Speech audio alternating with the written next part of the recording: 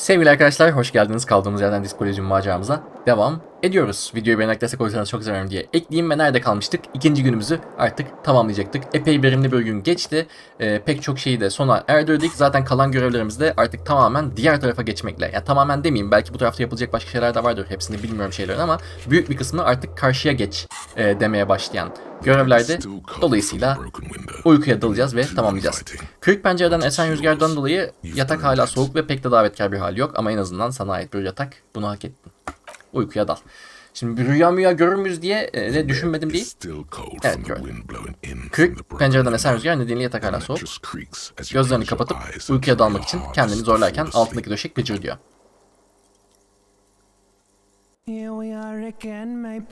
İşte yine geldik yaralı kuşum. Dalgalar yine geliyor. Seni sürüklüyorlar ama gidemezsin. Hayır, burada kalmak zorundasın.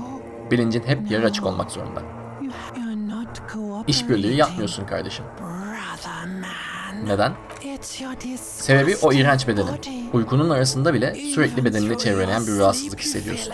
Karnında ve sırtında rahatsız edici bir sertlik var.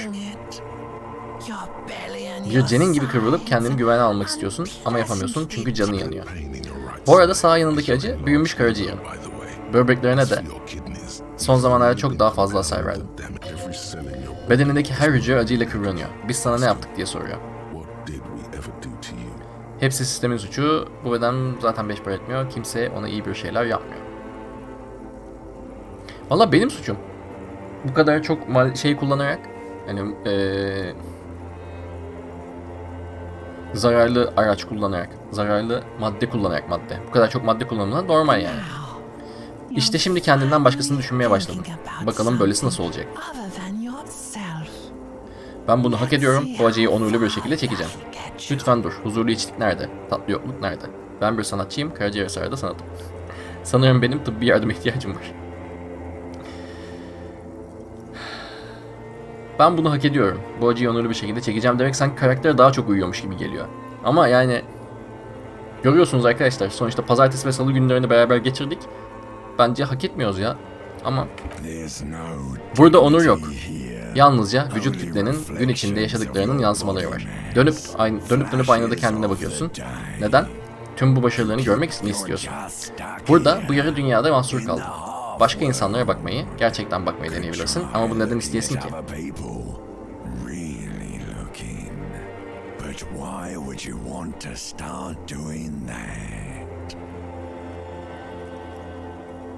Öyle yapacağım. Ben insanlara bakıyorum, onlardan hoşlanıyorum. Mu? Çok insansever gibi de değiliz aslında ama. Tabii ki. Hepsi de ne kadar arkadaş yalnız değil mi? Bazıları öyle, bazıları iyi. Diğerleri korkuyor. En azından ilginçler. Her birinin aynı senin gibi kulaklarının arkasındaki e, kulakların arasındaki bölgede süregelen işlemleri var. Hepsi de sır dolu. İnsanlar göz alıcı. Heykele benziyorlar. Kendi parodileri ve trajedileri, trajedileri olmuşlar. Yaratıkların en büyük demokrasisi. Şu an ne yaptığını sanıyorsun? Farkındalık mı yaşıyorsun? Tüm bu ışıklara bak. Var olup yok olan düşüncelere. Sen uyuyormuş gibi yapıyorsun. Kendini de kandırmaya çalışıyorsun. Bu sırada dünyada sensiz akıp gidiyor.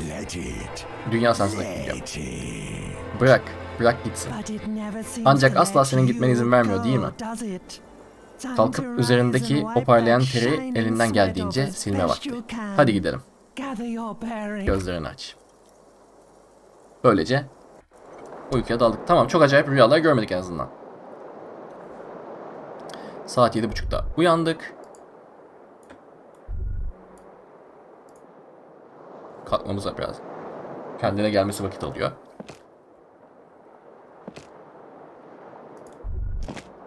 Şu aynaya bir bakayım. Elimi yüzümü yıkarım. Bir şey yapamıyorum. Tamam. Cama da bir şey yapamıyorum muhtemelen. Bitir.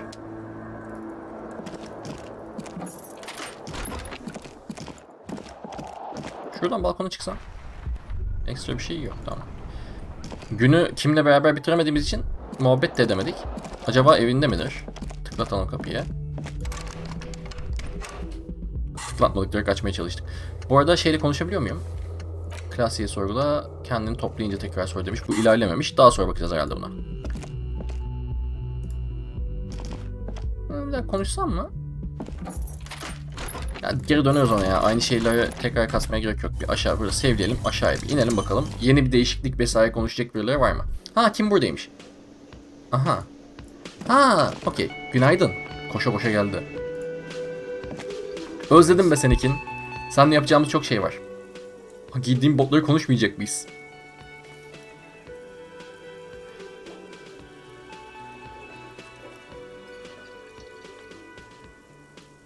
Okay. Tamam hadi konuşalım. Botları çaldınız. Tebrik ederim. Bunun için epey ciddi ve planlı bir çaba, hatırı sayılır bir maharet ve zamanlama gerekmiş olmalı. Şimdi sizi rapor edeceğim ve hapse gireceksiniz. Dalga geçiyorsun. Acaba? Neyse polislikle ilgili bir sorunuz mu theft.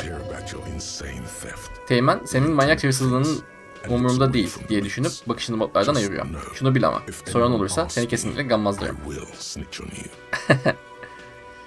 Eee okey. Onunla beraberken çalamıyorduk ama çalmış olmama da çok da şey yapmıyor. Bu iki, iki abiyle hatta bu üç abiyle konuşacağım. Başka yerine kimse yok gibi gözüküyor. Senle bir konuşalım. help you? Got the 20 rand. Then Tamam, bunda ekstra konuşacağımız bir şey yok daha. Ee, senle de konuşalım. Oh. Tamam.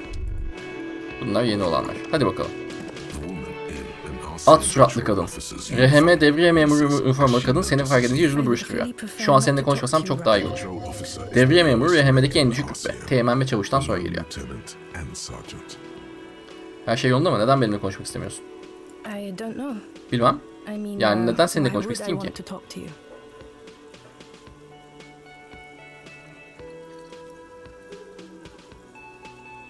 Tamam, iş kitabına uygun yapalım. Kitabına. Burnunun ucunu çimdikliyor. Kadının içinde bir şey değişiyor. Merhamet bu. Acıma duygusuna fine. İyi peki. Hadi konuşalım. Ne istemiştin? Hmm. İnsan fellow meslektaşıyla ne konuşur ki? Hangi karakoldansın?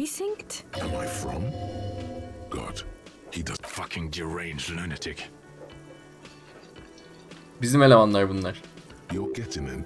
Bu sohbette seni entelektüel açıdan tatmin etmeyen bir şeyler var. Peki hoşça kal. You look like shit. Boka boka benziyorsun. Buruşuk suratın e, adamın güneş gözlüğünde yansıyor. Ve bunu metafor olarak söylemiyorum.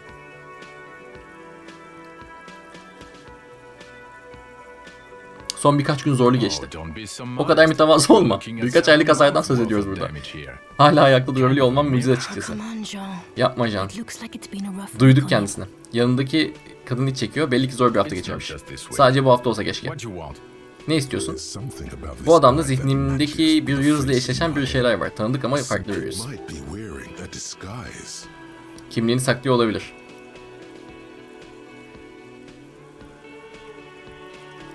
Gözlüğün kıyakmış. Kılık mı değiştirdin? Evet. of reaction. Sanki bir tepki, bir yanıt, bir şeyin uyanmasını bekler gibi ama nafile. Kim bu adam? Soracağım. Kim olduğunu ben anladım onun da. Deneyelim. Başardık. Ne olduğunu biliyorsun. İkiniz de tanışıyor gibisiniz. Sorsana. Doğruyu söyle. Beni bir yerlerden tanıyor musun? Aa seni kesinlikle bir yerlerden tanıyorum. Başka bir hayattan. Nereden? Başka bir hayattan mı? Evet, başka bir hayattan. Farklı bir hayat. Belki de bir polis memurunun hayatı. Ait olduğu yerde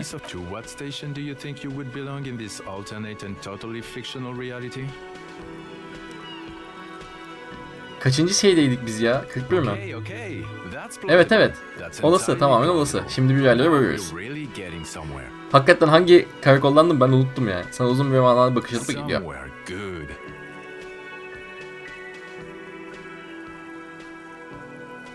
Peki o zaman sonra görüşürüz. Pekala güneş gözlüklü adam ve şu farazi is 41. Hypothesis karakol meselesi. Tuhaf değil mi? 31. Weird, right? Değil mi ya aşırı tuhaf. Burada gözden kaçırdığımız bir şey var. Tam olarak tespit edemediğim bir şey. Ne yap biliyor musun? Adama sor gitsin. Kulağa çınlayınca geliyor. Geldiğini bilmiyorum ama biliyorum. Muhtemelen sana gülecek ama yine de. Soralım.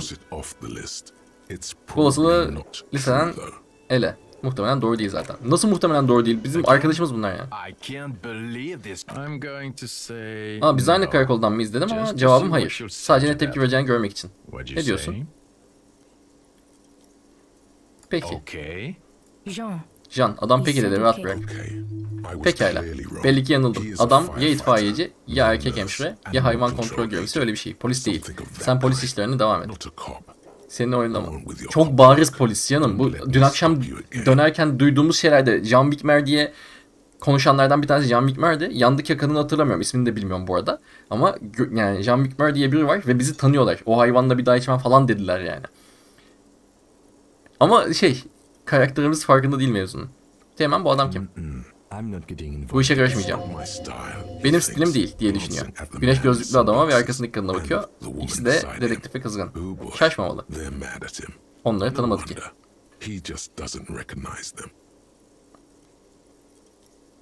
Bahsettiğin şu Farazi 41. karakol hakkında konuşalım. Ha Farazi 41. Evet hadi o konuda fanteziler kuralım.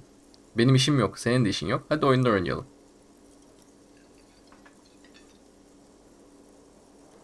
Senin çözmen gereken bir vaka var mı? No, no, no. Yo hayır hayır. Ben başka polislerin, benden daha iyi polislerin suç olaylarının çözmesini izlemeyi severim. Şu kadarını söyleyeyim, senin çalışmalarını izlemek bir helping. Bu bir işe yaramıyor. Daha fazla hayal edemiyorum. Ben de partner. Ben de. Kısa bir anlığına bir şey görüyorsun sanki. Bütün o hüznün içinde bir gramcık merhamet. Sen kimsin? Değil. Ha balkona tutuyor adam. Merhaba canlarım. Yeni bir randevu.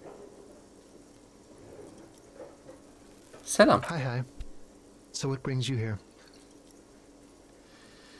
Burada ne yapıyorsun? Atmosferin tadını çıkarıyorum. Peki ya sen memur bey? Burada kalıyorum. Odam hemen yukarıda. Tarihe geçeceğim yer burası. Karaoke söyleyeceğim. Really? well, I look forward to Sabırsızlıkla bekliyorum. Olayı araştırmaya gelen şu kaslı tipi tekrar anlatsana. Oh. Ha tabii. Pekala linç olayından birkaç gün sonra kapım çalındı. Galiba bütün binayı tarıyor, o sorular soruyordu. İşte bu şey, tribünalden olan, eee, paralı askerlerden olan eleman. Ona ne söyledin? Hiç, hiçbir şey görmedim söyledim. Ona dostundan bahsettin mi? Hangi dost? Pazar günü dostu, görgü tanığı olan. Hayır, konusu açılmadı sanırım. Görünüşü nasıldı? Yakışıklı, güçlü, oradaki tipler gibi. Tek başına mıydı? Evet ama kulaklığından biriyle konuşuyordu. Kulaklık mı? Evet, güvenlik görevlilerinin Bazen taktığı şu uzak mikrofonlu kulaklıklar. Ne söylüyordu? Ona ne anlatıyorsam onu aktarıyordu. Kaslı olması haricinde belirgin bir özelliği var mıydı? Aksanlı konuşuyordu. Paralı askerlerden biri gibiydi. Belli belirsiz bir Oryan aksanı vardı. Yo belli belirsiz değil. O iptal. Kesinlikle Oryan aksanı vardı. Bilgiler için teşekkür ederim. Pazar günü dostumla tanıştım. And how did you like him? Haklıymışsın büyüleyici could be derecede bürokratik. Söyledim sana çok faydalı olabiliyor. Siyasi kişiliklerde bir şeytan tüyü var.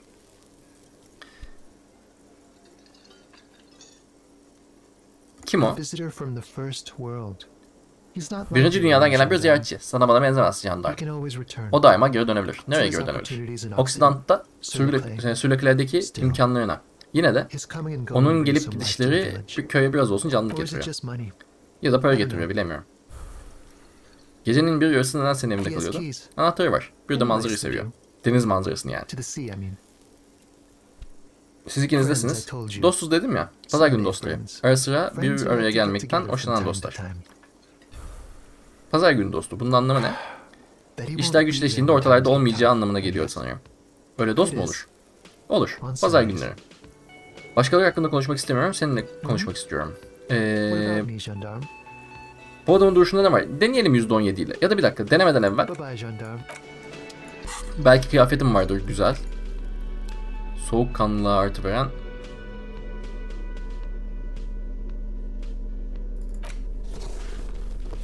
Ayakkabıları, ayakkabıları değiştirmek iyi oldu. Artı 2 geldi çünkü. Ha, o bu da güzel. Pantolon ve ayakkabı değiştirdik. Hi again, gendarme. %58. Aa daha fazla veremiyorum. Allah ya. Ulan. Nothing else here. Bye bye, gendarme.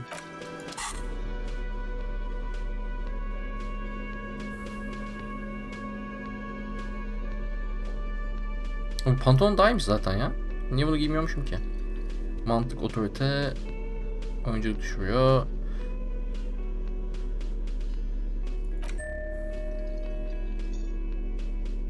Niye böyle bir şey oldu?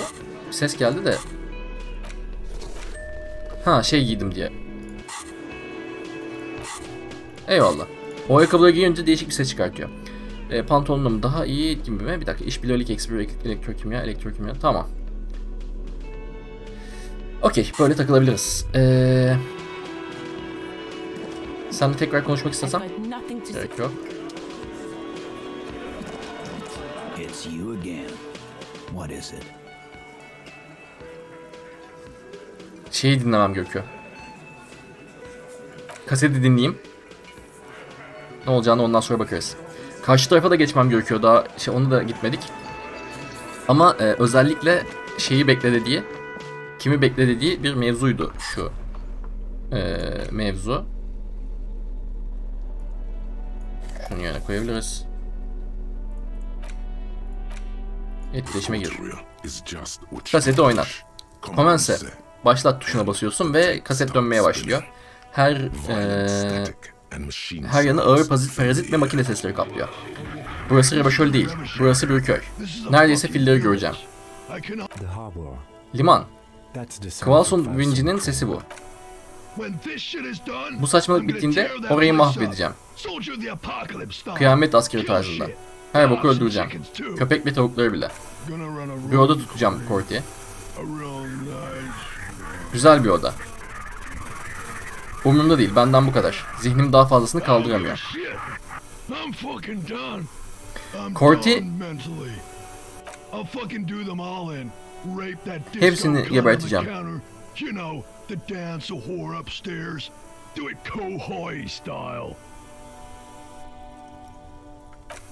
Never did get that taste out of my mouth. The lieutenant presses the button marked Arete on your portal The tape stops spinning. Ama tecavüz yoktu diyor işin içerisinde. Böyle ne ilginç peki. Yani tecavüz delili gibi de duruyor. Zaten o yüzden verdiler de peki. O sondaki sessizlik neydi? Kaydın sonu. Ne düşünüyorsun? Gayet gerçek gibiydi. Muhtemelen kısa dalga telsizlerinden kaydedilmiş sonra da daha suçlayıcı olması için düzenlenmiş. Liman duvarlarında devriyedeymiş gibi geliyordu sesi. Katılıyorum ayrıca sesi sarhoş geliyordu. Still, Yine de düşündüğümüzden daha fazlası var burada. Corty'de one kim? Sanırım diğer paralı askerlerden bir tanesi konuştuğu kişi. Arkadaş olabilir mi? Corty işte şey değil mi? Bizim de tanıştık şeydeki e, grev kıranlarla olan eleman Corty nerede dememiş miydi? Öyle bir şey sanki vardı ama. Kohoy denen. Samarya sırasında Güney Safya'da bir ada, Grad orada savaş işledi. Bazı settiği tarzdan şeyler işte. Sence orada mıydı? Kim bilir? Belki yanıtlı dövmelerde buluruz. Bu adamın nerelerde görev yaptığını bilmemiz gerekir. Sivil bir ortamda kıyamet askeri tarzı davranışın bir sembolü. Peki o zaman şimdi ne yapıyoruz? Sanırım class. klasiğe sormamız gereken birkaç soru daha var değil mi? Etrafına bakıyor, bulduklarımız ifadeleriyle ters düşüyor. En azından biraz. Kaseti çıkarırken tape tekrar neşeli radyoya bağlanıyor sen falan filan. Ürpertici derecede bir tezat oluşturuyor. Yakışıksız bile denebilir. Tamam bunu tekrardan araçlardan... Hadi Levi'yi alayım bu sefer. Ya. Devam edebiliriz. Klasiye ile konuş. Tekrar geri dönüyoruz. Önce Klasiye ile konuşalım. Ardından e, Titus biraderlerle konuşuruz.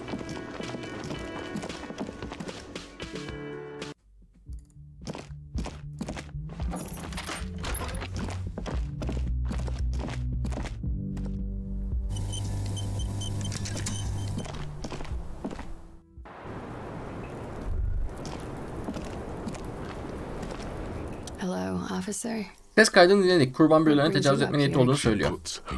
Kadın kahve fincanını masaya koyuyor. Porselen metal masaya değince yumuşak bir çınlama sesi çıkıyor. Bu ses kadını şaşırtmıyor. Öyle mi? Onun iyi bir adam olduğunu hiç söylemedim. Tek söylediğim bana kötü care. Kadının umurunda bile değil. Aksine sesinde bir neşe var. Amused. kurban spesifik olarak hedefinin sen olduğunu belirtiyor. Hmm, get Peki onlar bu ses kaydını tam olarak nereden almış? Kurbanın telsiz konuşmalarını gizlice dinleyip bir de şifre istasyonu vasıtasıyla kaydetmişler. Yeterince sahici. Peki kayıtta bunu kıyamet askeri tarzında yapacağını söylüyor muydu? Kadın tek kaşını kaldırıyor. Birebir bu kelimeleri kullanıyordu hakikaten. Aynen. Bu onun kur yapma lafı gibi bir şeydi. Fincanını masadan alıyor. Kayıtta- a lot? Was he pretty much on the verge of doing it Kohoy style? Kohoy vesaire falan elden geçirmenin eşindeymiş gibi konuşuyordu. Evet ikisi de geçti ya. Orada hiç bulunmamış. Göreve de gitmemiş. En azından bana gittiğini söylemedi. Zaten gitmiş olsaydı devreleri hepten yanarmış. Kendi küçük Kohoy'sunda yaşıyordu. Adamın yaptığı her şeyde bunun izleri görülüyordu. Niye bu tarz, bu tarz laflar ediyordu? Gör, maçı görmek için mi? Evet, böbürleniyor muydu? Oh no. Yo, I'm pretty sure eminim söylediği şeylerin hemen hepsini yapmıştır ve hatta bunları kendi normallik tanımına da entegre etmiştir. Başka türlü yaşamaya nasıl devam edebilirdi ki? Sonra bu normallik onun için aradığım kelimeyi bul- bulamıyorum bir türlü. Savunma mekanizması. Süre gelen bir espri olmuş. Running joke. And it sounds like you didn't even get the good bits. Üstelik iyi kısımları duymamışsınız bile. way Lely'nin kullandığı ifadeler giderek çok daha acayipleşmişti. Semenine çatışması, Kohoy katliamı ve and the 36 yılındaki 36 Yesu famine tutukluğu in gibi e, bir bedende buluşsa, üzerine de Oranye seramik zırh kaplansa işte it Lely o olurdu. Adam zırhını yatakta ve duşta bile üzerinden çıkarmıyordu.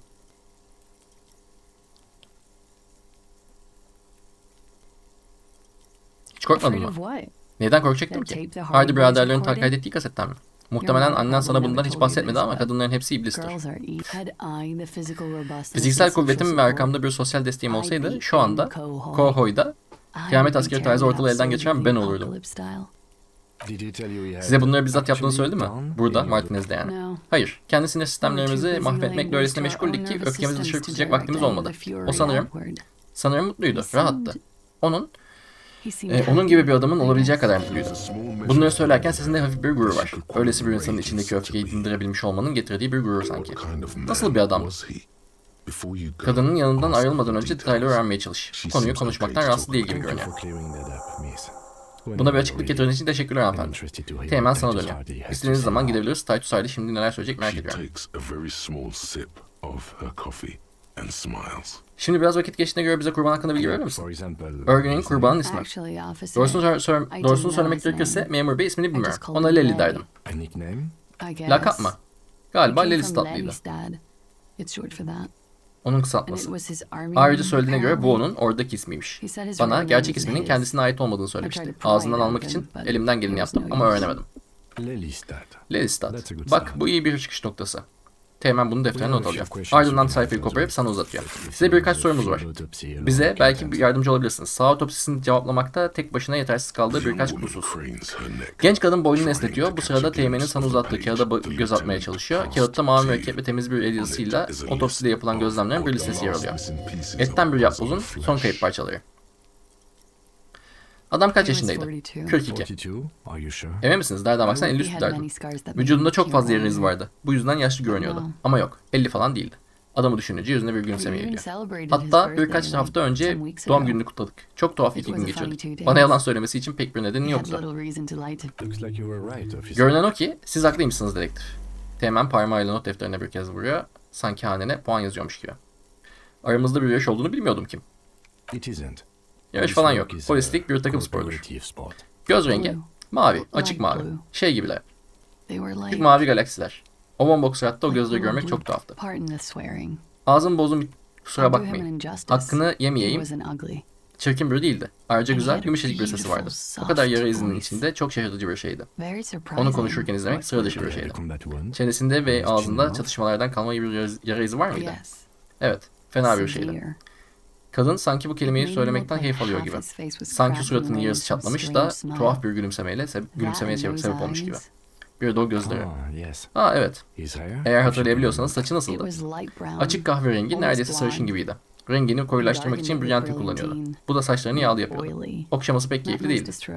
Yapma şunu I dediysen de bir türlü ikna edemedim. İlginç ben de adamın saçını okşamıştım.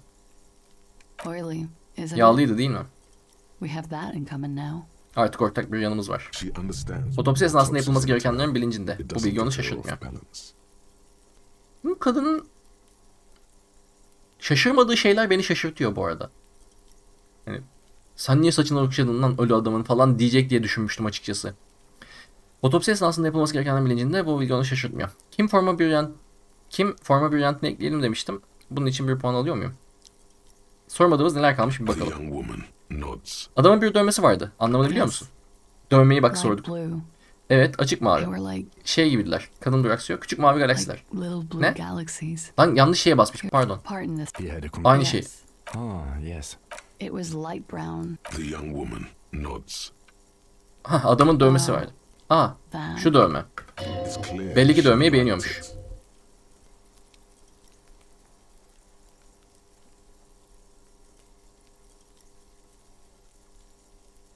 Oranya su yolu haritasının dövmesi miydi? Sure. Tabii su yolu. Daha ziyade kızlara batmak için though. Kızlara batmak için mi? Nasıl? How?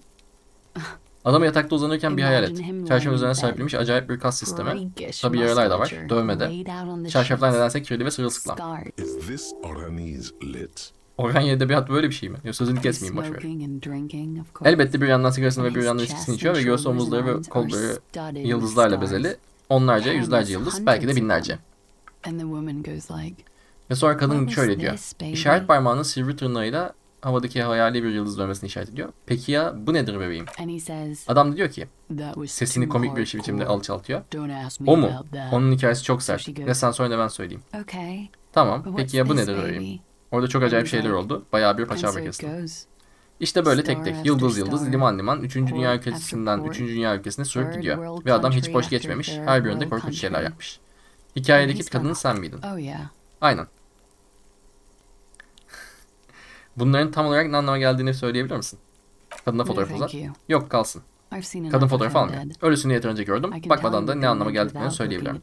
Fincanında biraz daha kahve dolduruyor. There Dinliyoruz. was a blue-eyed boy with Kalın pazılı, mavi gözlü bir oğlanmış, ufak bir kasabada doğmuş, çok da yoksulmuş. was Oranya devletinin de öldürmek istediği bazı insanlar varmış. Devlet oğlanı para için adam öldüren bir grotesk bir katile dönüştürmüş. People katil in akademisine gitmiş. Daha sonra Semenine adalarında insan öldürmüş. Ardından başka adalarda da bilinen tüm adalarda. Tüm bunlardan sonra he gelip kendi de öldü işte. Aydınlattığın için teşekkürler. Konuyu mu değiştirsek acaba? Adamın işini bitiren şey aşk olabilir mi? Gayet olabilir tabii. Evet. Ne demek istiyorsun? Ne demek mi istiyorum? Hiçbir no fikrim yok. idea. Asıl senin ne demek istediğini know Adamın you bitiren şey aşk olabilir mi? Bu ne, demek- bu ne anlama geliyor? What does that mean? Bana öyle söyledi. Adamın işini aşk bitirmiş. That's not funny, officer. Bu hiç komik değil memur bey. Sesi adeta havayı yarıp geçiyor. Omuzları geriliyor.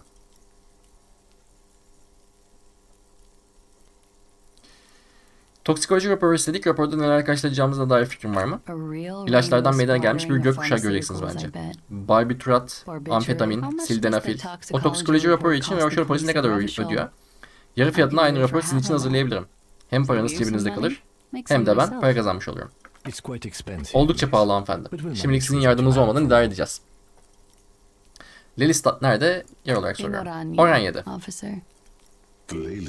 Lelistat, e, has bölgesi az sayıda yerleşim alanının daha da az sayıda şehre sahiptir ve Gotwald sınırındaki tarımsal alanı falan filan.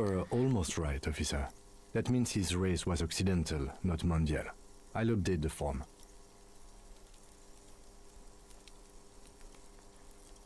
İkiniz de Oryanlısınız yani.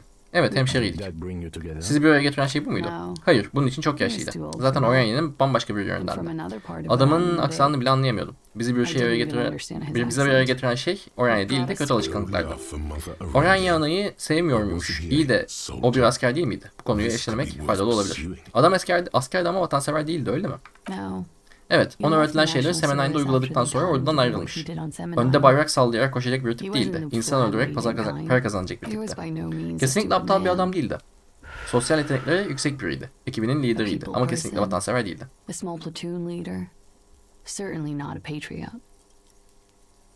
Sen de pek vatansever gibi durmuyorsun.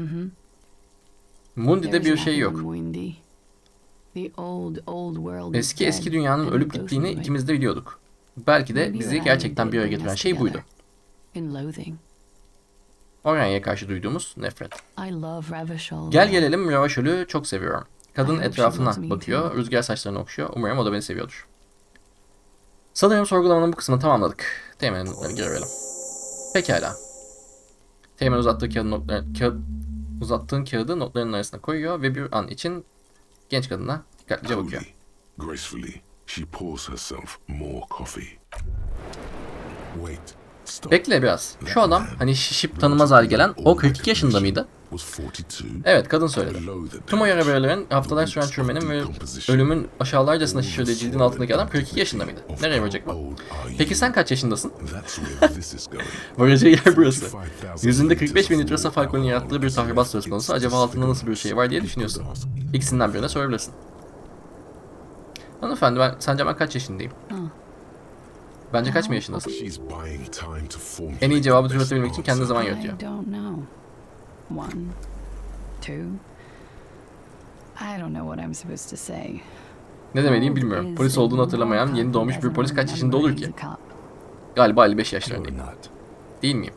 Sure he is. You know. Doğrudur. Nihayetinde yaş dediğim şey alt tarafı bir sayı.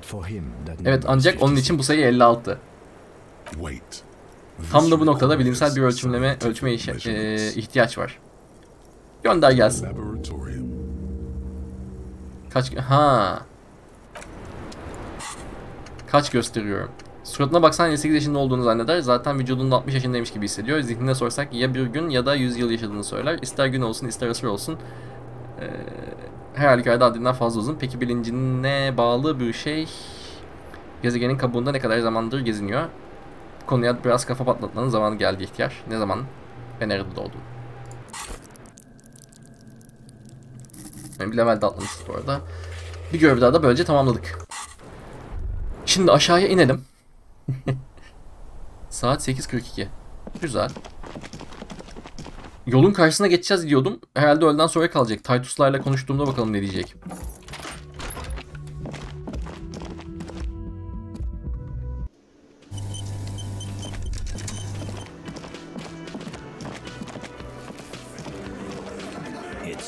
Yine mi sen? Seni kabalık, kabalıkla karşılıyor. Ne var?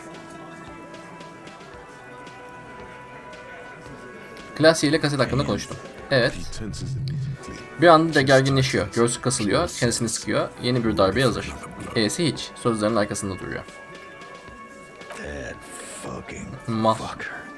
Eee Revaşöl'ün en boktan polislerisiniz. Size o kasette hazine verdim. Mal kelimesi sana yöneltilmedi. Kadına söyledi. Hazine mi? Alt tarafı batakhane muhabbet- muhabbetiydi. Deli sayılmaz. Kasette epey karanlık şeyler vardı ama hiçbir şey ispatlamadı. Kızın fikrini de değiştirmedi. Evet çok kötüydü açıkçası. Daha etkili olmasını beklemiştim.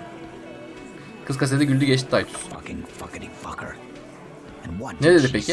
Ona göre hava hoş muymuş? İnsanların böyle olması normal miymiş?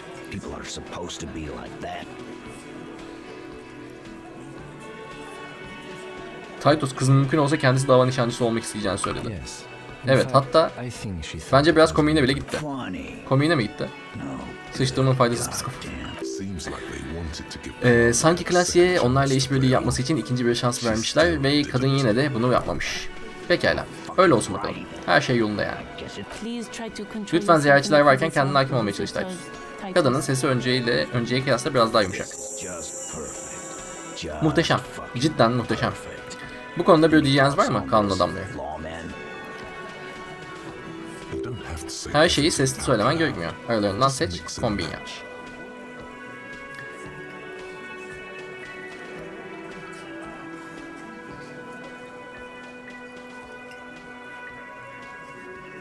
Belki de kız senin sandığın kişi değildi.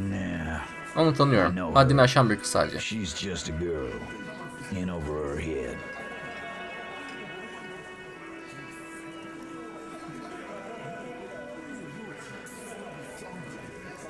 Çaresiz bir kız değil o. Paralı askerle gayet güzel başa çıkmış diyeceğim ama ya da benden beter eceline susamış yaman bir parti kız o da. Evet.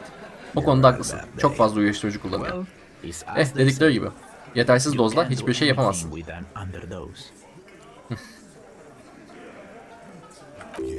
Evet, yetersiz doz diye bir tabir yok. Evet ama demek istediğim kızın gerçekten uyuşturucu problem. problemi var. Seninki gibi değil. Bizimki gibi değil. Onu hiç ayık görmedim sanırım. I don't think I've ever seen her sober. Bence bir yalan kurguladınız ama siz, kız sizinle işbirliği yapmadı. Fikrini sordum, masal anlat demedim. Bunları ninen anlat. Ninene anlat. Bu kaset planlanan yalanına ayak uydurması için son şansıydı. Ama öyle yapmadı. Sizin aksinize o bize yalan söyleyemeyeceğini biliyor. Harika. Demek artık iş- işini nasıl yapacağını hatırlıyorsun. Bu bu sidikten bıktım. Buraya daha sert bir şeyler alalım. Ha birasından. Evet beyler bu gece partileyelim. Neden? Yapmasak daha iyi. Success. Başardın. Soruşturmayı saptırmaya yönelik kanunsuz işbirliği yaptıklarını kabul ettiler. Tamam. Benimle açık konuş Titus. Gerçekten ne oldu? Anlattım ya. Koca suratını ellerinin arasına alıyor ve iç çekiyor. Adamı astık. Artık sesi daha az keyifli. Adamları da giderek sessizleşiyor. Titus. Hadi ama Titus. Adamı asmadığınızı biliyoruz. Adam vurulmuş. Defterine vuruyor. Yorulduğunu biliyorum. Ben de yoruldum o yüzden. Bana bak. Cidden yoruldum. Sizden de yukarıdaki kadından da. Kızı bir daha görüştüğünüzde ona deyin ki Titus bas git diyor. Bu yalan 3 kağıt artık bitti. Bu iş bitti anladın mı? Ufak soruşturman bitti. Evet. Salonda sessizlik hakim. Alan bir şey diyecek oluyor ama sonra vazgeçiyor. Yerdeki kutudan akan bira ufak bir gölcük oluşturuyor. Kimse bu konuda bir şey yapmıyor. Ne bu cenaze evi sessizliği? Bize lazım olan bira. Barman, liman işçileri sendikasından 20 bira çek. Şunu 40 yapsak ya. Adam tezgahın arkasından bağırıyor. Hatta 100 bira yapalım. Yeterince bağırmıyorsunuz. 100 bira işte budur. Hopla da gel bakalım. Kafeterya müdürü.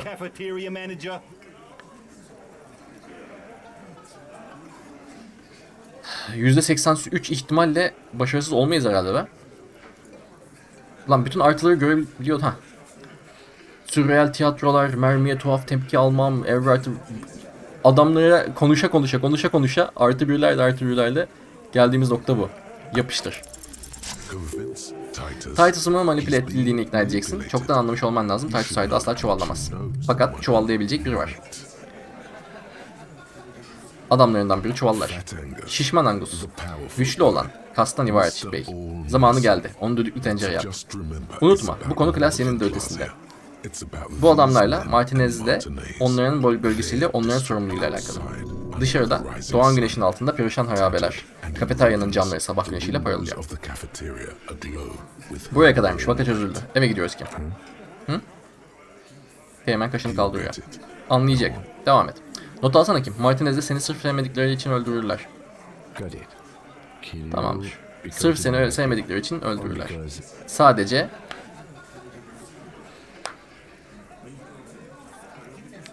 kızın biri yüzünden. Bring that up one more time. Bu konuyu bir kez daha açarsan o raporu yazamayacaksın. Yes, I understand. Evet anlıyorum Alan. Adım buydu değil mi? Alan? Bizi öldüreceksin. Vahşi kuzeyde böyle yapıyorlar. Seni karanlık çağlardaki gibi sallandırır cesedini sergilerler. Öyle değildi. Değildi. Şişman adam hırıltıyla konuşuyor. Adamı indiremedik tamam mı? İşte bu. Zayıf halka. Onun kabuğunu kırdınız. Şimdi sıradaki darbe. Polis. Çeneni kapatmazsan sıra sana gelecek. Yaşlı adam kemerine uzanıyor ama sesi tuhaf bir şekilde sakin. Çevirdiğin numarayı anladı. Ne yapmaya çalıştığını biliyor. Metin ol, devam et. Teo'yu dikkate alma.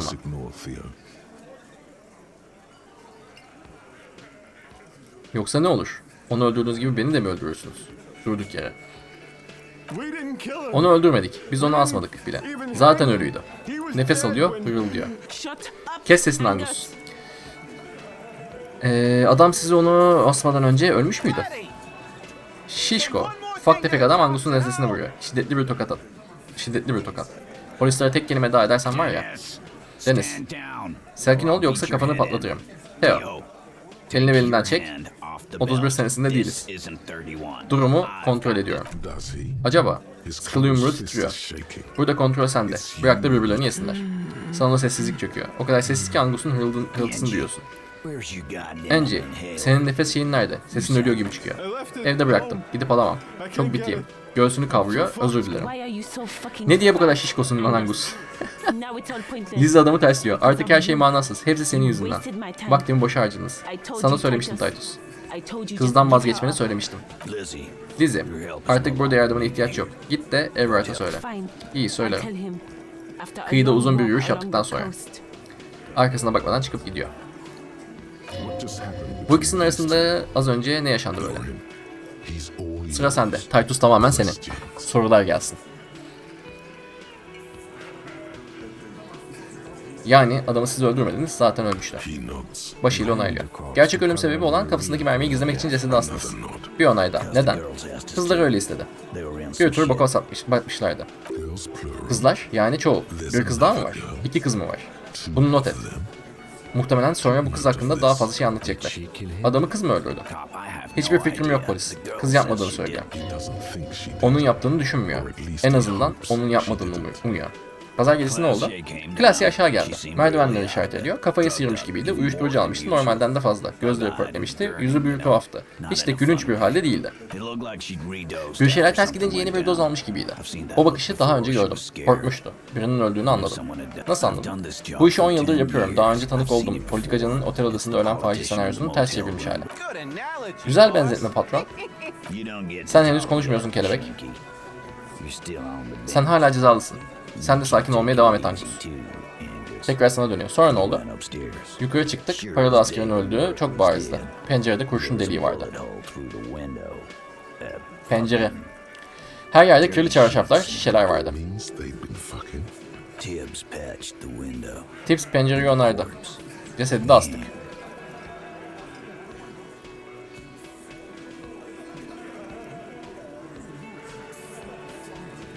Tips kim? 8. ayda mı? Yok benim kardeşim. Pencere camı işleri yapıyor. Tiberius'un kısaltması mı? Evet. iyi adamdır. Kesin babaların adı Atticus Hardy'dir. Kız kardeşleri Lucretia Hardy'dir. Neyse. Adam Classy, adamı Classy, Classy öldürmediyse neden ört, olayı e, örtbas ettiniz? Hop yanlış şeye bastım. Bizim kızın kendince bazı boklara battığını fark etmişsindir. Ben bir şey fark etmedim. Ne tür bir boktan bahsediyoruz? Polisin radarına girmemiz gerek. Türünde bir bok. Peşinde birileri var. Eski eski dünyadan. Onun geldiği yerden birileri. Kim peki bu kişiler? Güçlü kişiler. En merkezcilerle bağlantılı. Kızın can derdine düştüğü belli. Sizin sistemlerinizde kaydı çıkarsa sınır dışı edileceğini söyledi. Bütün bildiği bu. Kızın ona bütün anlattığı bu. Peki böyle birine neden cinayeti üstlenerek yardım etmek istedi? Neden mi? Galiba biz burada her türlü kaçağı ve eziğe destek oluyoruz. Martinez'e has bir şey. Peki o zaman paralı askerleri kim öldürdü? Bir bilgin var mı? Askeri daha doğrusu. Henüz yok. Sadece bazı fikirlerim var. Merminin dışarıdan pencerenin arkasından geldiğini söyledi. Bu bir ipucu.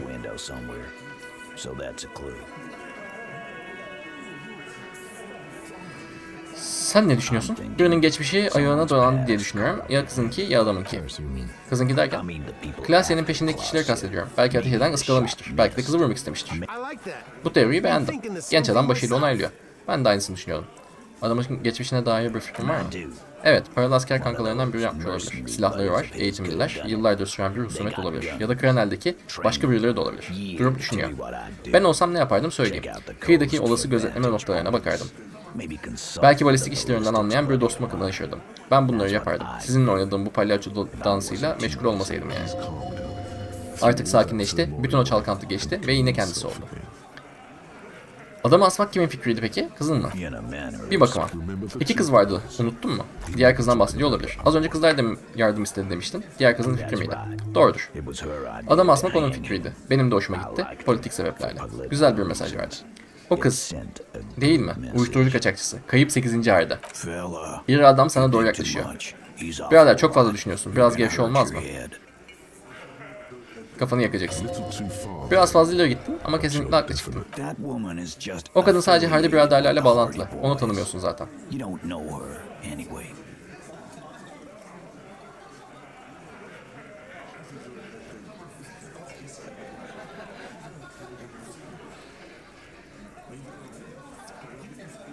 O kız hakkında soru sormaya devam edersen bana zorluk çıkartacaksın değil mi? Aranızı bozduğum için üzüldüm. Ben de. Kim? Başardık. Teğmen yalnızca senin görebileceğin şekilde gülümsüyor. Teşekkür ederim Titus. Gidip kızla konuşacağım. Son bir kez. Öyle yapsan. Birasını alıp elinde döndürüyor. Sonra aklına bir şey geliyor. Baksana polis. Gitmeden önce. Birdenbire dışarıda rüzgar başlıyor. Kocaman pencerelerin pervazlarının titreşini, duyuyor, titre- titre- titretişini duyuyorsun. Gazeteleri uçuşturuyor. Whirling'in Rex'in etrafında ılık çemberler çiziyor. O kız. Klasya Martinez'e saklanmaya gelmiş çoğumuz gibi. Burası gidecek yerin kalmadığında sürüklendiğim bir yer. Sendika sana kucak açar. Şimdi o bu koruma altına girmeyi reddetti ama ama yine de onu içeri atmamamızı mı tercih edersin? Doğrudur. Yolu buraya düşen kişilerle ilgilenmeseydik burası harabelerden ve yük konteynerlerinden ibaret bir yer olurdu. Bunu dikkate alacağız. Teğmen defterini ceketinin cebine koyuyor, gitmek üzere arkasını dönüyor. Onu tutuklamak...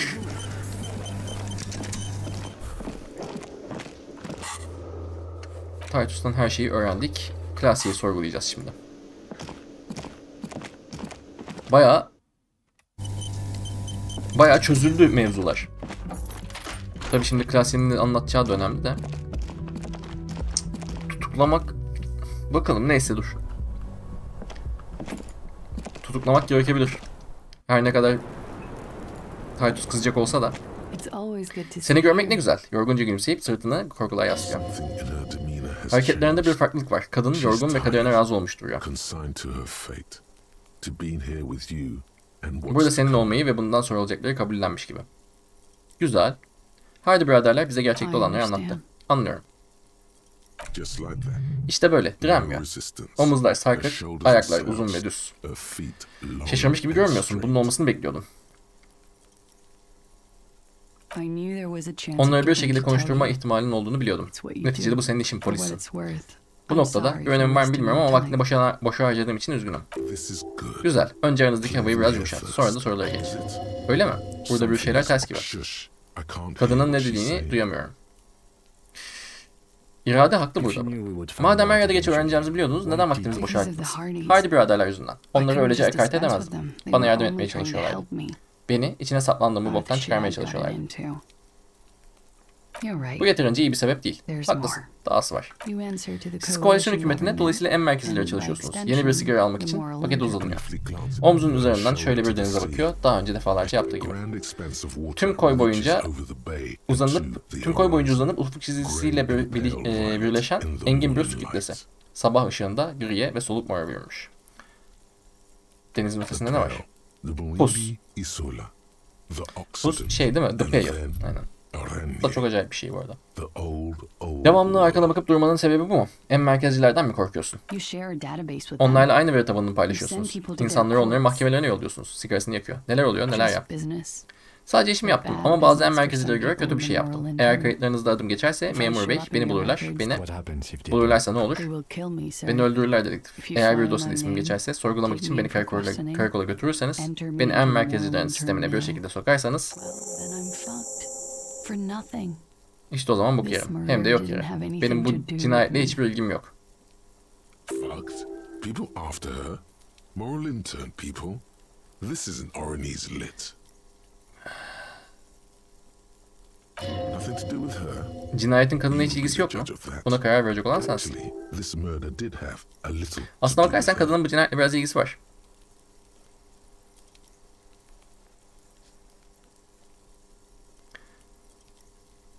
Bu insanları peşine takmak için tam olarak ne yaptım? Pek de hoş bir şey değil. Ama yaptığım şey Röveşöl'de yasa dışı sayılmıyor. Hatta Oranya'da bile sayılmıyor. Tam olarak ne yaptınız? Endüstriyel casusluk. En başından ihanet etmeyi planlayarak bir iş ortaklığına girdim. İşimi yeterince iyi yapmış olmalıyım ki tekrar yapmamı istediler. Bu sefer daha büyük bir şirkette. Asla ama asla bulaşmak istemeyeceğin türden bir şirket. 20 yıllık muhasebe kayıtlarının olduğu hesap defterlerini çaldım. Alakalı şirketlerin ve you. isimlerine ihtiyacım var. İş bank. bölgesi tasarruf bankasındaydı. of casusmuş kadın. İsmine bakınca küçük bir banka gibi duruyor aslında. Ama aslında printer Holding'e bağlılar. Bu ikinci işimdi. İlk işim yazıcı üreten bir şirketteydi. Bilemezsin, bilmezsiniz. Ama kadın hakikaten canlarını okumuş. Yaptıklarını hala içinde hissediyor. Bu iş için beni kimin tuttuğuna gelecek olursak isimlerini bilemiyorum. Ama too. ve with EM'deki arkadaşlarına ek olarak onların Once you're done in the competitive intelligence circuit, e, onların da peşimde olduğunu biliyorum.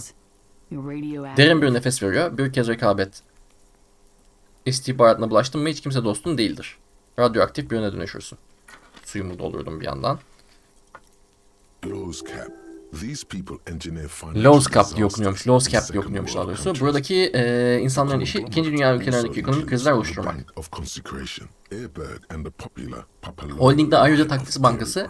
Airberg ve süt ürünleriyle meşhur Papa, Papa Lolo e, yer alıyor. Eminim bundan çok daha kötülerini yapmış insanlar vardır. Vardır I'm not tabi. a war criminal. Sonuçta savaş suçlusu değilim ama yaptığım şey kötüydü. İnsanlar işlerini kaybetti. Yalnızca kodamanlar değil, iyi insanlar da. Çok insan zarar gördü ama benim yediğim hatları boş verin şimdi. Çözülmeyi bekleyen bir cinayet var. Cinayet bekleyebilir. Kadının gözlerine bak. Dahası var. Ne yaptın? Ben İçlerinden biri kendini öldürdü. benim yüzümden.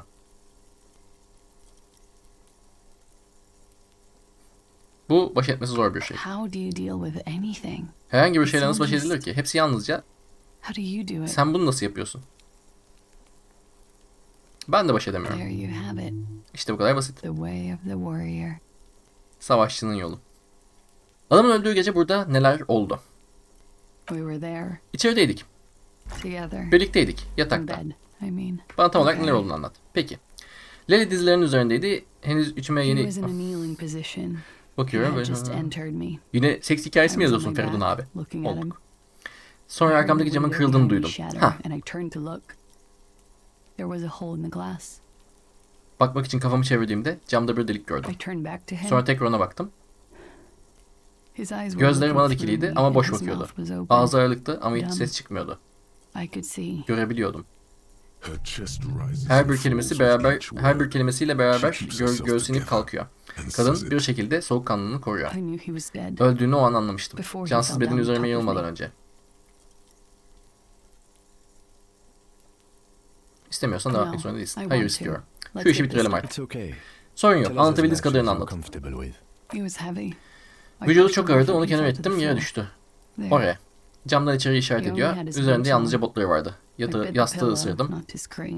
Çığlık atmamak için. Sonra merdivenlerden aşağı koştum. Uzun bir sessizlik oluyor. Kadın kolları iki yanında sallanır halde öylece duruyor. I waited for the second shot to come. İkinci atışın gelmesini bekledim. Beni de vururlar diye düşündüm ama gelmedi. Kadın elindeki sigarayı unuttu. Sigaranın izmariti kadının tırnaklarına kadar yanmış.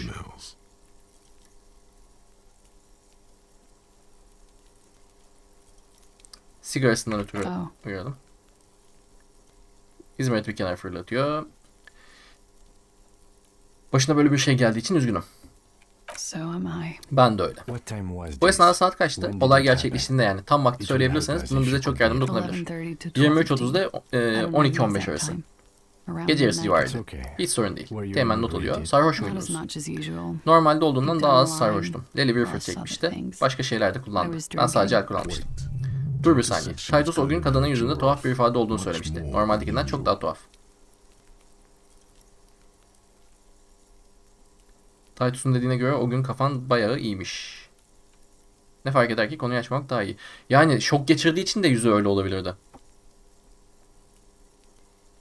Ama soralım. Oh yeah. Aynen. Lili'nin hazırladığı lines çizgilerden bir just çekmiştim. Kafamı boşaltmak için. İyi ki demişiz. Did you hear or Bu sırada katili görmek ve duyma şansınız oldu mu? No. Hayır. Ne yaptın peki? Hiçbir şey. Odamın alt katında kapana kısılmış gibiydim. my bir şeyler giyip sürünerek tekrar üst kata geldim ve jaluziyi indirdim. up. ağzından kan akıyordu. Çok değil, biraz. Yerde yatıyordu. Kolları ve bacakları sağa sola saçılmıştı. Orada onunla daha fazla duramayacaktım. Bu yüzden aşağı koştum ve odamdan çıktım. Koridorda, oradan da merdiven, koridora, oradan da merdivenlere. Aşağı katta birilerinin olacağını biliyordum. Koş kadın. Yanlarından koşup geç ve sokağa çık. Herkesin hareket halinde olduğu karanlık sokağa. Kavşakta duran kamyonlara doğru koş. Koşabildiğin kadar uzağa. Neden buradan kaçıp gitmedin? Sahiden şu anda neden buradasın? Ben zaten kaçtım. Tüm Yüzyıl'dan an kaçtım. Daha fazla, daha fazla kaçamam. Bu insanlardan daha fazla kaçamam. Kaçabileceğim en uzak noktadayım. Not with these people. This is as far as it gets. Merdivenlerden aşağı indikten sonra ne oldu? The bana bar. barda duruyordu. Çok fazla insan vardı. Hardy biraderler sahnenin önündeki masada oturuyordu. Sanırım I Sandy think Kolyesi Ruby doluydu. Ruby de oradaydı. Çok da keyifli vakit geçiriyorlardı. Yanlarında oturdum. Hepsi de beni hoş bir şekilde karşıladı. Bir şey söylememe me. gerek bile kalmadı. Ruby ortada bir sorun olduğunu anladı. Ruby. Mi? Sorulara devam etmeden önce kim bu Ruby? Lider. Kimin lideri? Hardy biraderlerin. Sanki bariz bir şeyden bahsediyormuşçasına. Hardy biraderlerin lideri Hardy'dir herhalde diye düşünmüştüm. Görünüşte öyle. Ciddi bir mesele olduğunda Ruby'ye giderler. Halledilmesi gereken bir sorun varsa mesela. Organizatörlüğü Ruby'dir. Kadının dediğine göre şu Ruby çok büyük bir güce sahip. Kadın ona güveniyor. Diğerleri de öyle. Yani Ruby aslında Hardy boy? 8. Hardy birader öyle mi? Öyle denilebilir. Pekala devam edelim. Sonra ne oldu? Ruby bana gel yukarıda konuşalım dedi. Ona odayı gösterdim. Bu insanları Aralık ayından beri tanıyorum. Durumumu biliyorlar. Doğal olarak arkamda en ufak bir iz bırakamayacağımı da. Bu olayı anlattığım ilk kişi care Bu meseleyi halledeceğini söyledi. Hani onun asıl olayı da bu aslında. Meseleleri halletmek. Cesedi banyoya taşımasına yardım ettim. Vücudu duşta yukarı kaldırmak için bir kemer kullandık. Dik durabilmesi için. Seni kandırmak için cesede müdahale etmişler. Böylelikle adamın the sanki yazılmış gibi morluklar oluşacaktı değil mi? Yes. Evet. Bu müdahalenizi tamamen gözden kaçırmışız. Demek ki zamanında hareket etmişsiniz. Ölümün üzerinden ne kadar 20 minutes after vakit geçmişti? 20 dakika mı? About 20. Yaklaşık yes. 20 dakika. Evet. Ruby açıkladı. Böylelikle kan biliyorsunuz işte. You know what he does.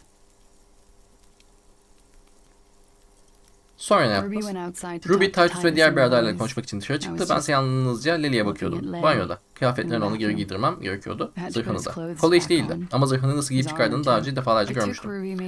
Ruby'nin Titus ile gelmesi. Belki yarım saat sürmüştür. Onlar gelene kadar Lily'yi hazırlamıştım. Cesedi alıp dışarı taşıdılar. Ne yapacaklarını biliyordum. Sanki like asıl hanging. öldürmüş gibi göstereceklerdi. Ruby biraderlerin bunu yapabileceğini söyledi. Onlar Lily'yi asarken sen ne yapıyordun? Ruby bana burada beklememi söyledi. Ayrıca bir süre ondan haber alamayacağımı ve ortalıkta görmememiz gerektiğini falan söyledi. Ben de öyle yaptım. Şu Ruby şu anda nerededir? Titus'un Ruby'nin yerini söylemesini sağlayayım. Peki. Ee, bilmiyorum. O günden beri kendisini görmedim. Bu soruyu gidip Hardy biraderlere sormamız gerekecek. İlginç. Şu Ruby ne- niçin bu cezamete girdi? Başka birinin yaptığı şeyi gizlemeye çalıştı. Daha sonra bu konuyu araştırdı. Bu teoride şüpheli bir şeyler var ama tam olarak ne olduğunu göremiyorsun.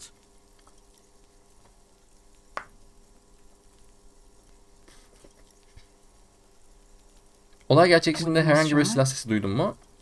I may Lili have. vurulduğunda mı? Duymuş olabilirim. Bilmiyorum. Camın parçalanma sesi çok baskındı. Silah sesi o, o, mes- o kadar daha yüksek değil demek. Atış mesafesini hesaplarken bu bilgiyi göz önünde tutmakta hep fayda var. Bayağı uzaktan vurulmuş olabilir yani. Lili'yi sen mi öldürdün? Böyle bir şey sormaya gerek yok. Adam senin peşinde olan insanlar tarafından öldürülmüş olabilir mi? Yani olabilir gayet. Daha ne diyecek ki? Madem saklanıyorsun polisler niye aradı? Çünkü ben aptalım. Ki bu da doğru söylediğinin bir göstergesi. Aptal mı? Uzaktan yakından alakası yok. Böyle düşünmemizi istiyorsun ama aptal değilsin. You have to understand. Şunu anlaman lazım. Buradaki insanlar kimse telefonu açmadı. Evet, te- kimse telefonu açmadı. Adam orada çürümeye devam etti. Sonra kıyafetlerini aldılar. Sonra o küçük kurusu off. cesedini taşatmaya başladı. And that little Dişlerini sıkıyor, yutkunuyor. Bir körecik. Yalnızca bir kör olsun yarı yılıp hüngür hüngür ağlamamak için tüm gücünü kullanıyor. O piç kurusu tam 3 gün boyunca cesedine taş, taş fırlattı. Çarpan her bir taşı sesini duyabiliyordum. Küt, küt. Başını sağa sola sallıyor. Ben de sizi aradım. Tüm kalbimle umuyorum ki Ravaşör'de yaptığım son şey bulunmaz. Polisi arayan kişi kesinlikle bu kadındı. Böylelikle vazifesini yerine getirmiş oldu. Bu yalan olamaz. Kesinlikle olamaz. Bu cam ne zaman değiştirildi? Last week. Geçen hafta. Angus ve Angus Titus'un kardeşi. I think he's called Tibbs, took care of it. Tiberius. You should have another look at that window after this. Bu görüşmenin ardından pencereye tekrar bir göz atıp olayı zihninde canlandırmalısın. Baksana hemen şuracıkta. Yes, you see the glass sparkling out of the corner of your eye.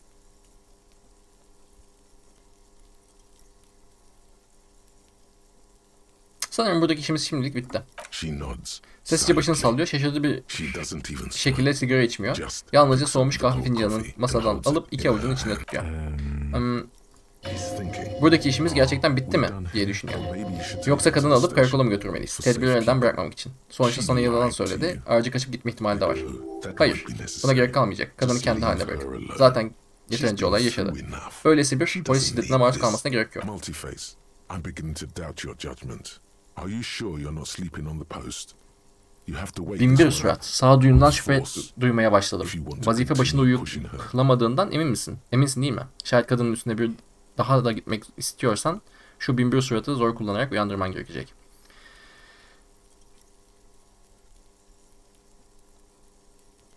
Kıyafet değiştirmiyor mu şu anda? Bu konu hakkında sonra tekrar konuşalım. Şuna bir bakayım. Geri dönüp bakınca şöyle düşünüyorsun. En nihayetinde adamın işini bitiren şey aşkmış. Haklıymışım. Kadınla birlikte olmasaydı adam burada olmayacaktı. Mermi adamın yumuşak have parçalamayacaktı. Adamın işini bitiren şey en nihayetinde aşk.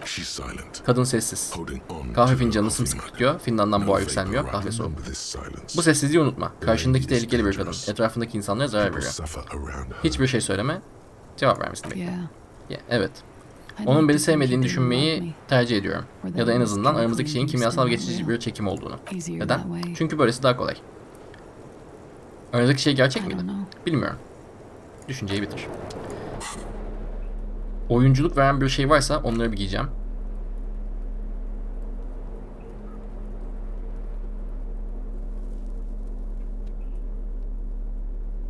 Üzerimde oyunculuğumu düşüren bir şey varsa onu da çıkartabilirim bu arada.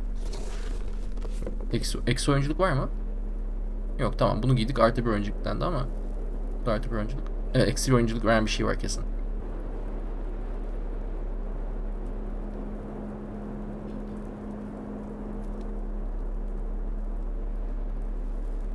Ha. Gözlüğü değiştirelim. Çıkarsak da yeter. Artı 2 oyunculuk. Okey. I was just thinking, %83. what a nice day for questions. What? Dear God, you've been lied Kim? to. Ne? İnanmıyorum. Size yalan söylemiş. Sevgilisini gerçekten de öldürmüş ve herkese başka bir yalan söylemiş olabilir. Hiç de açık sözlü değil. Sürekli bir alavere dalavere karşısındakini kandırmaya yönelik hareketler. Muhtemelen size gerçek ismini bile vermedi. Niye versin ki? Çabuk yalanlarıyla ördüğü ağa daha fazla dolanmadan tutuklayın şu kadını. Before she further entangles you in her web of lies. Gerçek ismin... Cle- Hmm. Bence Karakolu sen aramadın. I did. Ben aradım. Ne bu şimdi? Bilmem ne masanız mı ne varmış onu aradım. Şehrin her yerinde numarası var. Acil durumda falan filan. Telefonu yaşlı bir kadın açtı. Sesi sanki sigara içen biriymiş gibi şikayetimi dinledi öksürdü. Bu gerçekten de acil durum masasının numarası. Bunu herkes bilebilir. Biraz etrafa bakınıp numarayı tuşlamak yeterli. Bu kadının ağzından çıkan tek bir kelimeye inanmıyorum. Saat kaçta aradınız? Thursday night. Perşembe gecesi geç bir saatte 12 geçiyor. Checks out. Sana doğru başını sallıyor, örtüşüyor. Bir şey söylemem. Gerçek ismin Klasya Amandu değil. Katılıyorum. Peşinizde sizi arayan insanlar varken bize gerçek isminizi söylemezsiniz. Okay. Tamam. Tamam olan ne? Okay, it's not. Güzel. Bana gerçeği work. Elinizdeki bilgileri her hafta sisteme giriyorsunuz. Hepsi Commons aktarılıyor. İsmimi sisteme girmeyin diye size yalvaramazdım. Bu yüzden size yalan söyledim. Tıpkı daha önceki yalanlarım gibi. LCSB'de söylediğim gibi, söylediğim yalan gibi. Ben her zaman yalan söylemek zorundayım. Kadın, beyaz ojesi, yer yer soyulmuş tırnaklarına bakıyor. Bundan o kadar yoruldum ki. Pasaport muhabbeti de mi yalandı? Şu saklı tuttuğum pasaport. O doğru olabilir bence. Ben de. Hayır, aynen. Sahilde plastik bir şamandıranın içinde suyun altında duruyor. Sazlıkta. It Ama pasaportta Klasyamondu yazmıyor. Anuk Meyer Smith. It's Falsified documents. Sahte evraklar. Öyle mi? passport and visa. Pasaport ve vize. Given to me İşverenim tarafından verildiler. İkisini de I kullanmıyorum zaten. Probably İşverenim bana zarar vermek için muhtemelen Meyer Maya Smith soyadını sızdırmıştır. Niye böyle bir şey yapsınlar? Buluşma yerine gitmedim. Bu tarz şeyleri pek hoş karşılamıyorlar. Bulaş, bu- e, buluşma yerine gitmedim çünkü bana was şey yapacaklarından korktum. İşte anlamladığıma göre artık onlar için büyüküm. right Hemen şimdi burada tutuklamanın, This has been an awful tutuklanmaktan korkuyor. Olayların geldiği nokta onun adına korkunç bir hal aldı. Bana gerçek ismini söyle. Katarzyna Lazia. Katarzina Alasya. Mahcup bir şekilde gülümsüyor. Neredeyse hiç acı çekmiyormuş gibi. Bu bir Grad name ismi. Ee. Jimsk ya da Yugo Grad Occidental kökenli. Kesinlikle of değil. motor yağı kokusu, tayga, ekonomik desolation, ve rock müzikle harmanlanmış alkolizm.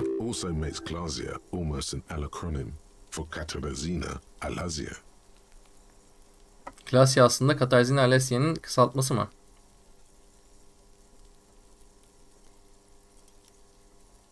It was a sentimental thing. Benim için duygusal bir şey. Burada daha çok ben olmak istedim. Şimdi doğru söylediğinden kısmen de emin olabiliyoruz böylece.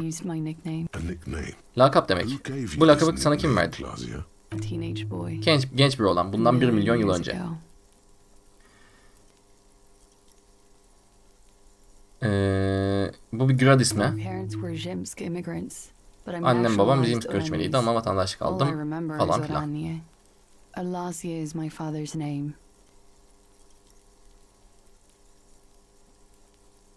Nihayet Alasya'ya. She nods. Başını aşağı yukarı sallıyor. Çatıdaki rüzgardan nemlenmiş yuvarlak gözleri gözlerinde buluşuyor.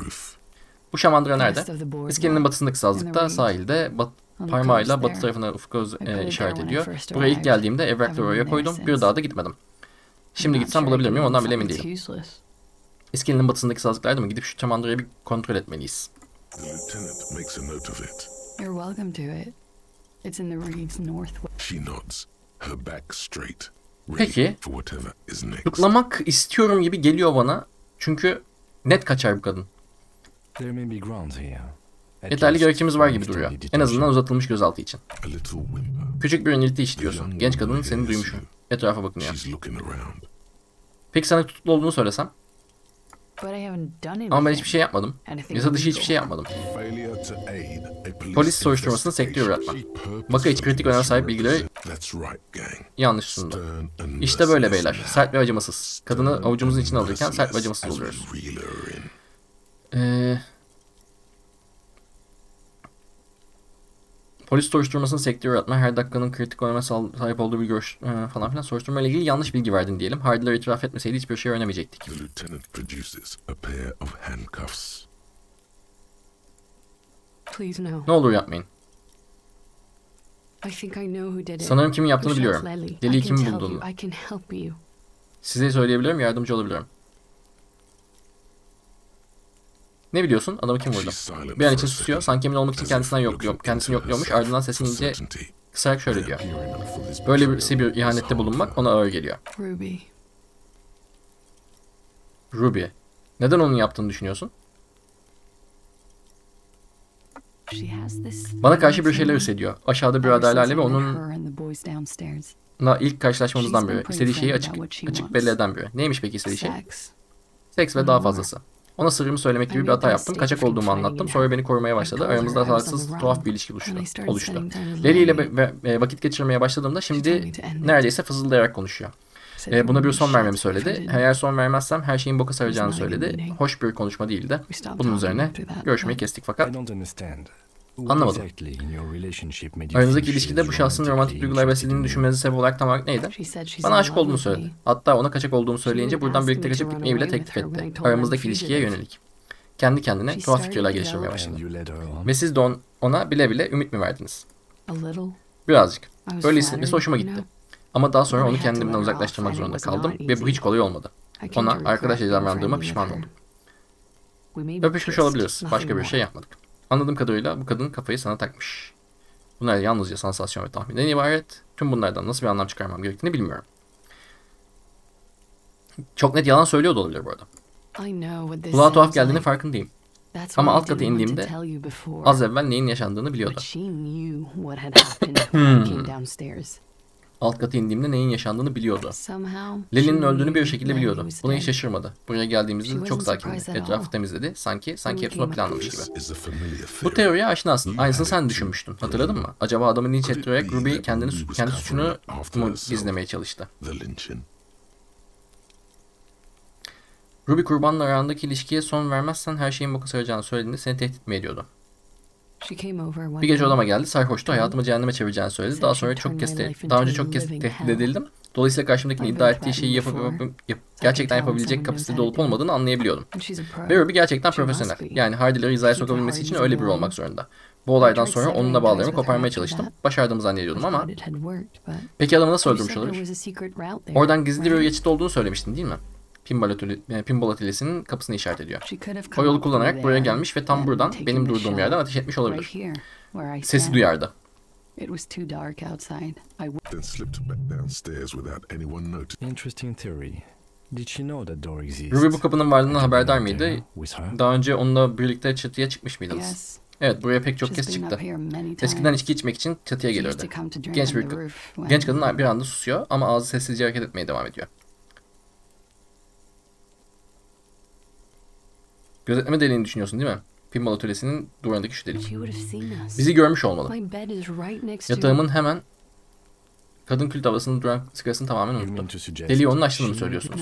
Hayır. Hayır böyle bir şey niye yapsın ki? Hayır bir anda bana bu do delikten bahsettiğinizi hatırladım ve tam anlamıyla emin, olamıyor. Delik tam da yatağının üzerinde. Ruby oradan her şeyi görebilirdi. Tamam Ruby ile ilgili sorularım bu kadardı. Şimdi ne olacak? Tutuklayın. Kadını tutuklama. Biraz daha üzerine git ve sonra onu rahat bırak. Şu Ruby teorisi bayağı sağlam duruyor. Ayrıca kadın çok güzel.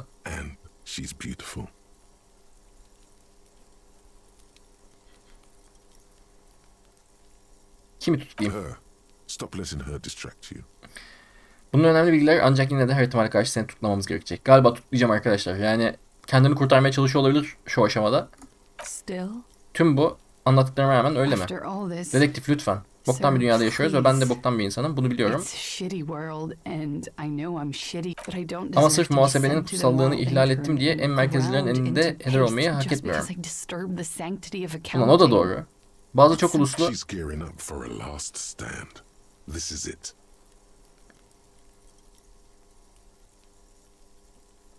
Neyi hak ediyorsun I don't peki? know. Bilmiyorum. Günlerimi sigara, alkol içerek ve dans ederek geçirmeyi, bokun içinde yuvarlanmayı hak ediyorum. Herkes gibi. Başka ne seçeneğim var? Karakola çağırmak gibi bir seçeneğiniz var değil mi? Çağırdığınızda gelmezsem kaçak konumuna düşerim. Beni karakola çağırabilirsin. Şu anda beni tutuklamak zorunda değilsin. Söz veriyorum geceleri dışarı çıkmayacağım. Hep burada duracağım. Bu net kaçacak canım. Bunu yapabileceğini biliyorum. İzin ver kendi ayağımla geleyim. İki ay içinde. Hatta belki de bir ay içinde. Tek ihtiyacım olan bu. You do have the form. Form sizde var. Teğmen senin elindeki deftere bakıyor. By God, she's Yemin ederim kadın onu too. da keman Like gibi çalıyor. Kimin aklına gelirdi? İki ay içinde ne değişmiş olacak ya da bir ay içinde? Everything Her şey değişebilir. Bu şehir suçluların iadesi kanunu, laws, hapse girilir ya da belki desperation Sessizliğinde çaresizlik var. Kaçmak için herhangi bir yol bulmaya çalışan, köşeye sıkışmış bir hayvan gibi. Belki a bağımsızlık kazanır. free Ravishol. An independent state that doesn't hand its detainees over to the moral intern. Özgür bir revaşörde yargılanırım belki. Tutuklularını en merkezilere teslim etmek zorunda olmayan bağımsız bir devlette. Özgür low, Otoyolda derin ve uzak bir gürültü hakim. Güneyde devasa bir makine sütunları sallıyor. Omurganda bir elektrik akımı hissediyorsun. find that hard to believe, miss. Bunların gerçekleşebileceğini sanmıyorum hanımefendi. Teğmenin elindeki kelepçeler şıngır diyor. Neydi o? Coming. Geliyor.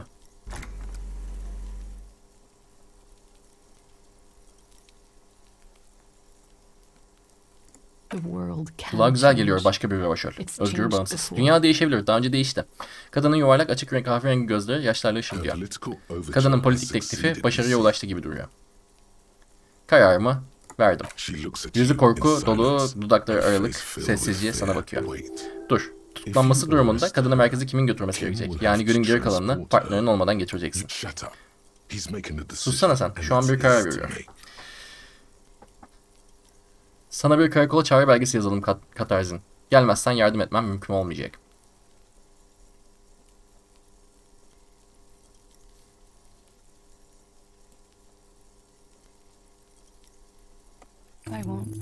Geleceğim. Evrağı almak için uzanan elinin titrediğini görüyorsun. Ardından kadın kendini toparlıyor. Bu çok büyük bir hata olabilir mistake. I promised I will be right here all the time, nights too. I'll help you any way I can in this investigation. Söz veriyorum buradan yardımlayacağım. Geceleri bile bu soruşturmada size 41 in elimden gelen her şekilde yardım edeceğim ve 6 hafta içinde. 41. karakola geleceğim. Ardından tekrarlıyor. Söz veriyorum.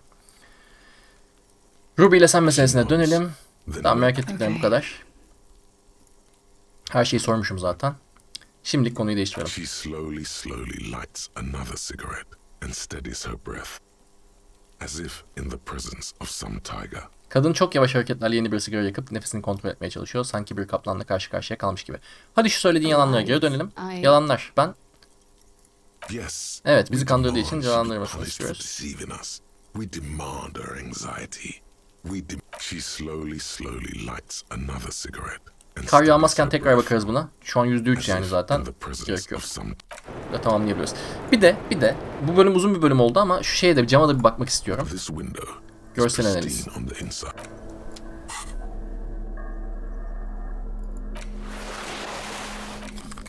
Başka görsel analiz ekleyen bir şey var mı?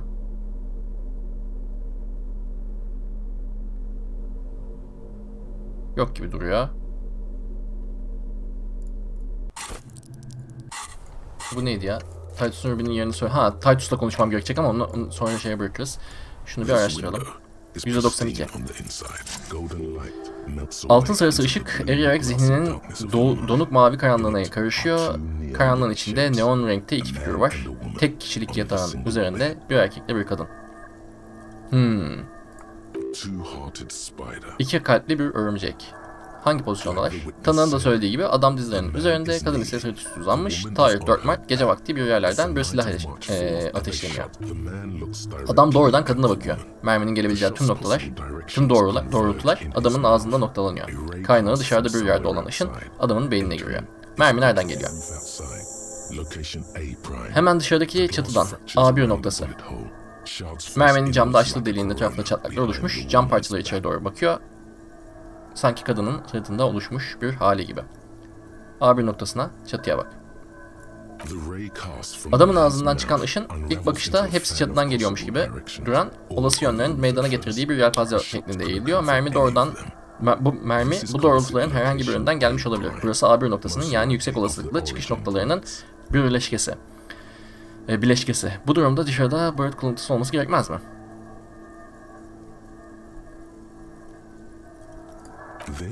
Belki de vardı ama üzerine yağmur ve sulu kar yağdı. Rüzgar da ne var ne yoksa süpürdü. Olay gerçekleşeli bir haftayı geçiyor. Bu durumda silah çatından yetiştiğinin %80 oranında eminim öyle mi? %72. Tüfek veya standart tabanca gibi orta menzilli bir silah kullanıldığını düşünürsek aradaki mesafe kısa ve ideal. Ancak çok da kısa değil. Fail silahı ateş edildiğinde sırtını korkuluklara yaslamış veya daha iyi nişan alabilmek için diz çökmüş olabilir. Üstelik bu niçin tek atış yapıldığını açıklar. İçeride ışık yanıyordu. Dışarısı, içe, dışarısı ise karanlıktı. Tıpkı iyi aydınlatılmış bir akvaryumdaki balığa ateş etmek gibi. Mermi, kurbanın açık ağzından içeri girmiş. İkisi de dışarıdaki karanlıkta herhangi bir şey görebilecek durumda değildi. Muhtemelen o sırada gözleri birbirlerinin vücutlarından başka bir şey görmüyordu. Peki silahı odanın içinde ateşlenmiş olabilir mi? A1 noktasının yan çatıyı çürütecek herhangi bir argüman var mı? Daha uzakta bir başka çıkış noktası olabilir mi? A1 noktasını yani çatıyı çürütecek herhangi bir argüman var mı? Henüz böyle bir argüman bulamadım. Ancak bulamamış olmam çürütülecek nitelikte bir argüman olmadığı, var olmadığı anlamına gelmez.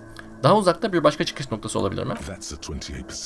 %28 ihtimalle evet, olabilir. Mevcut modele göre mermi daha uzak bir mesafeden gelmiş olabilir. Elimizde bu olasılığı çürütecek herhangi bir ürün yok. Martinez'deki tüm olası çıkış noktalarını kapsayan bir hesaplama yapmalıyız. Hayaletimiz şekilleri inceleyelim. Adam beynine bir mermi girdiğinin farkında değil, hiçbir zamanda olmayacak. Ölüm idraktan daha hızlı. Tüm Martinez'i kaplayacak şekilde mermi doğrultularını hesaplamak gerek.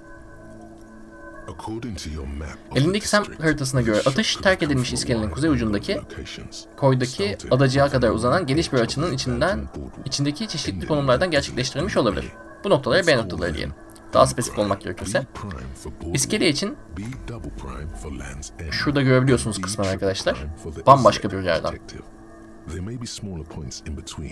B1, B2 ve B3 adlıkları diyebiliriz. Arada daha küçük noktalar olabilir ancak bunlar dürbünle görülemeyecek kadar ince açılara sahip. Ee, B1 noktasının iskeleye bak. 700 metre ilerisi bu %20 ihtimalle B noktaları arasında en muhtemel olanı. Usta bir keskin nişancı atışı buradan gerçekleştirmiş olabilir. Tabi güvenli bir keskin nişancı noktasında konuşlandığını düşünürsek odanın içi aydınlık olsa bile burada askeri düzeyde bir nişancılık becerisi söz konusu. Bu mesafeden başarılı bir atış gerçekleştirmek için failin rüzgarın şiddetini hesaplamış olması gerekiyor. B2'ye bakalım. Şurası. 1200 metre uzaklıkta. Pozisyonlar arasında en düşük ihtimal %3 diyelim. Usta bir keskin nişancı buradan belki bir çadırın içinden atışı gerçekleştirebilir miydi? Hayır. Çok zorlama olurdu. B3 noktasına adacığa bak. Şurası. 1 kilometre mesafede. Rıhtımın ötesinde Martinez koyundaki bir adacıkta. Pek olası görünmeyen bir çıkış noktası olabilir mi? Çok kötü haritalandırılmış olsalar da orada bazı adacıklar var. Atışın başarılı olma ihtimal olması minik bir mucize anlamına gelir. %5 olasılık diyelim. San Gislen sokağı 10 ile 33 arasından koydan pencereyi gören aşırı dar bir görüş açısı. Sahiden de var. Ee, imkansıza yakın bir açı bu. Üstelik atıcıya erişimde tartışmaya açık. Kim sence atış çatından daha uzak? Kim sence e, atış çatından daha uzak bir mesafeden yapılmış olabilir mi? Martinez'in içinden mesela. B1, B2, B3 diyelim. Bakıyorum bunun üzerine bayağı kafa yormuşsunuz. Bunlar çatıya ek olarak belirleyip büyürken ayırdığınız konumlar mı? Ayrıca size mermi, sizce merminin daha uzak bir mesafeden gelmiş olma olasılığı nedir? Yeterince olası. Pekala o halde sahile inecek olursak herhangi bir bird konusu veya keskin nişancı noktası var mı diye etrafı araştıralım. Bu yerleri tek tek eleyelim. Bu titiz bir yaklaşım olur. O zamana kadar ben şahsen çatı senaryosu üzerinden ilerleyeceğim. Burlington geçen gizli yolla da örtüşüyor. Basit bir hipotez. Gözlerini kırpıştır ve bitir. Sevgili arkadaşlar uzun da bir bölüm oldu ama şimdilik bu kadar diyelim. Videoyu beğenerek destek olursanız çok sevinirim. Silahın ateşlendiği yeri veya işte artık diğer tarafa... Ha önce Titus'la da bir konuşmak gerekecek. Önce bir Titus'la konuşuruz ondan sonra e, yolun diğer tarafına geçer. Artık yeni açılan bölgeleri de bir gezeriz. Orada neler var neler yok onları da görürüz. Ama dediğim gibi şimdilik bu kadar. Videoyu beğenerek destek olursanız çok sevinirim. Bir sonraki videoda görüşürüz. Kendinize iyi bakın. Hoşçakalın.